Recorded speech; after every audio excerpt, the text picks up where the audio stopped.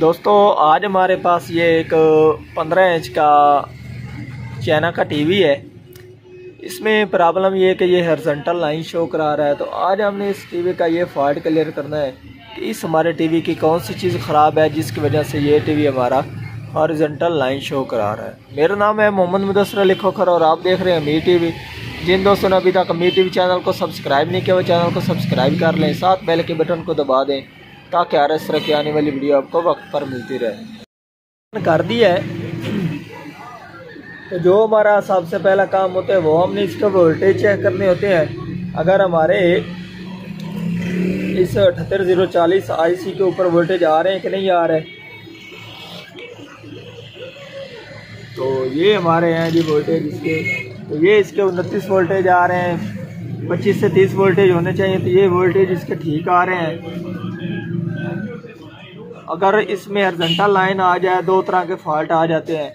अगर इसकी योग की को तार उतर जाए तो फिर भी इसमें ये फॉल्ट आ जाता है। अगर ये इसके बाद इसका आईसी ख़राब हो जाता फिर भी इसमें ये फॉल्ट आ जाता है। तो पहले हम इसकी योग की जो वैर है, वो चेक कर लेते हैं। तो ये आप देख सकते हैं इसकी, ये वैरें बिल्कुल ठीक है। ये हरजेंटल और वर्टिकल की इसकी। वैरें ठीक है जी। और योग से भी मैं आपको चेक करा देता हूँ। तो योग से भी ये आप इसकी पैरें चेक कर सकते हैं, वैर। तो ये इसकी बिल्कुल ठीक है। तो अब हमने आईसी को किस तरीके से चेक करना है, वो भी मैं आपको चेक करा देता हूँ। अगर हम टीवी को चलाकर इसके ऊपर हाथ की पास दें, अगर इसकी जो ये हरजंटा लाइन है, ये खुल जाए तो ये इसका जो फॉल्ट है, अगर खुल जाए तो फिर आपका आईसी ये वाला ठीक है, और कोई फॉल्ट है।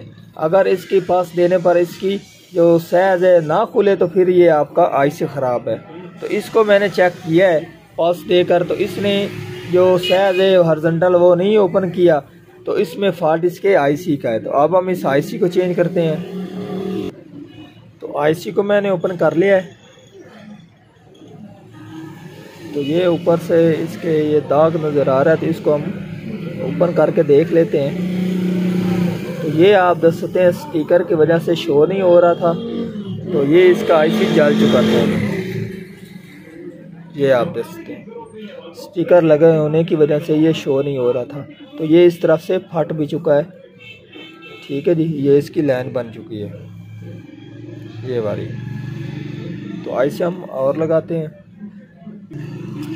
आईसी मैंने लगा दिया है। तो अब मैं टीवी को पावर देता हूँ, इसकी जो स्क्रीन है वो चेक करते हैं।